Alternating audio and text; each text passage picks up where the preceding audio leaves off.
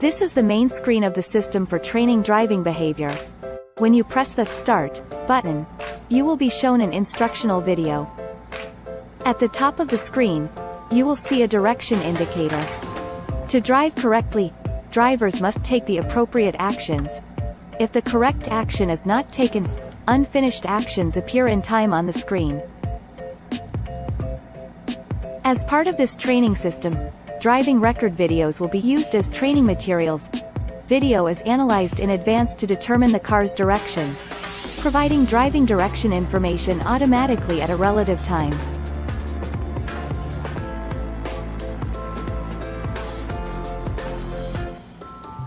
Right and left turns can be analyzed as well as the state of the vehicle when stationary. Make sure the driver is taking the right actions in time. To turn right, for example, you need to activate the right turn signal and shift into the right gear.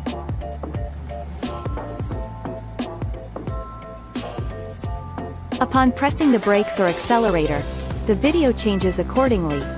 Depending on the car's speed, give prompts that it is going too fast or too slow. The driver may turn the wheel in any direction he likes. A prompt will appear directing you to turn the wheel in the right direction.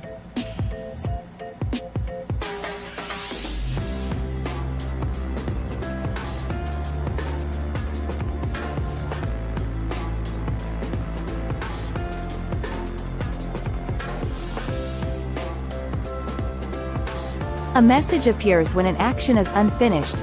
In addition, two buttons will be located below. You can continue your training by choosing the Continue option. If you wish to end training early, you can then press the End button.